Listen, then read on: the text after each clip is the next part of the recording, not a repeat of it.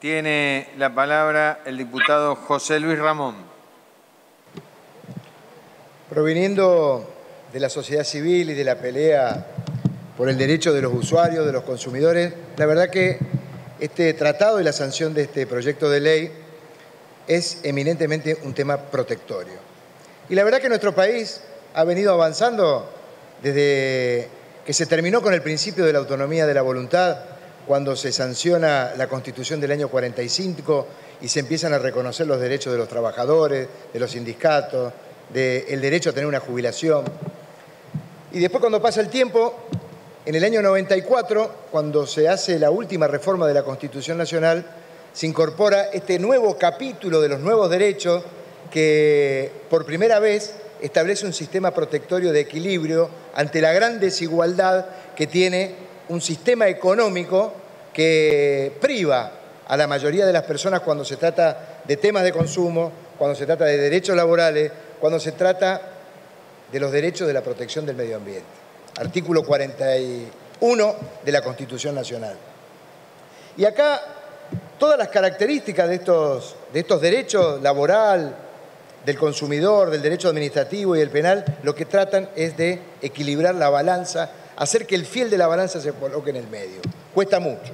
Y es una simetría que es muy clara, porque de un lado están los mismos de siempre, los que tienen poder, conocimiento, profesionalidad y el poder económico para lograr dar legitimidad a las acciones económicas que llevan adelante. Y esta relación que yo daba recién en los aspectos constitucionales de la protección, o mejor dicho, de los derechos y la legislación de tipo protectorio, tiene algunos principios que en este, en este proyecto de ley no estamos teniendo en cuenta y lo quiero dejar marcado. Porque el derecho de la información, en este proyecto y cuando sea ley, el principal que carga con la obligación de entregar la información es el Estado. Ahora, mi pregunta es, ¿qué pasa con los privados? Porque en un sistema de libre comercio, el problema ambiental no lo está provocando el Estado. El Estado lo que está haciendo es habilitar para que con las concesiones o con, la, o con el ejercicio del poder del, comercio se puedan generar estos daños ambientales. Y es un tema serio.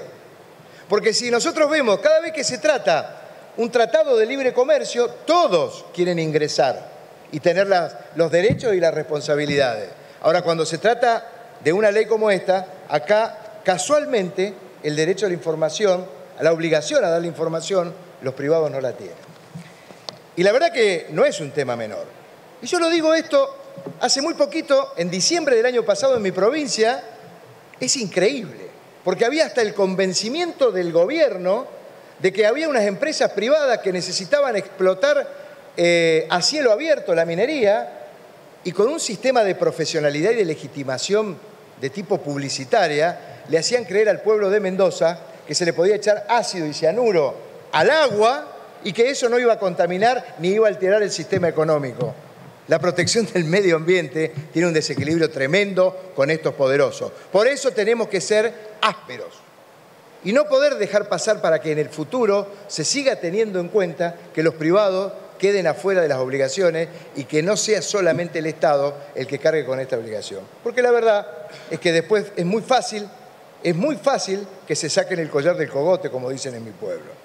Y acá, cuando pasa este elefante, porque esta ley es muy importante, de hecho la estamos apoyando, no la estoy criticando en la sustancia, porque es una herramienta más. Recién escuchaba la diputada preopinante, hablaba del derecho penal y del derecho de la justicia colectiva. Yo llevo acá, el año pasado, en el año 2018, perdón, discutimos la ley de las acciones colectivas. ¿Qué es la ley de las acciones colectivas? Aquella que permite la representación de un colectivo afectado por el interés económico de unos poquitos que pretenden abusarse. Si hablamos de los trabajadores, una acción colectiva para hacer valer un, convenio colectivo. Si hablamos de los consumidores, para hacer valer el derecho de los consumidores a que se les cuide su interés económico. Y, si, y en el caso del medio ambiente, la acción colectiva permite que un representante de todo ese interés afectado pueda accionar judicialmente. Para eso la información. Por eso es importante este, este convenio y la aprobación de esto, pero no que eh, cuando lo estudiábamos decíamos que el elefante que nos ponen enfrente no nos tape el objetivo que tenemos que lograr. Si queremos realmente la protección del medio ambiente, no puede pasar como en esta capital federal, hace muy poco estaban instalando una línea de subterráneo en donde no habían cumplido con los, eh, requisitos ambientales para, para la instalación de la línea. ¿Saben lo que ocurrió? La Cava, el gobierno de la Ciudad Autónoma de Buenos Aires, le metió una demanda a la ONG que estaba pidiendo que se cumpliera con la ley de la protección ambiental. Y para cerrarlo, los problemas ambientales no son un tema anecdótico. Necesitan, necesitan de la fortaleza que estamos proponiendo hoy en esta ley. Porque cuando se sanciona una ley como esta, lo que se propone es tocar el corazón de la economía moderna. Cuando en nuestro país queremos por ejemplo, en los temas de consumo que me especializa. Fíjense que no hay manera de que exista un tribunal de defensa de la competencia para que el grupito de los grandes deje de apoderarse de las actividades económicas. Bueno, en esto pasa exactamente lo mismo. Si no tenemos acciones colectivas que permitan la legitimación sin caer en que sean más responsables las víctimas que los victimarios, vamos a seguir teniendo un sistema que no es completo. Y por eso es que creo que este paso que estamos dando hoy es importante, pero no podemos sacar el pie del acelerador. Hay que seguir en esta lucha. Señor presidente, muchas gracias y vamos a acompañar este proyecto. Gracias, diputado.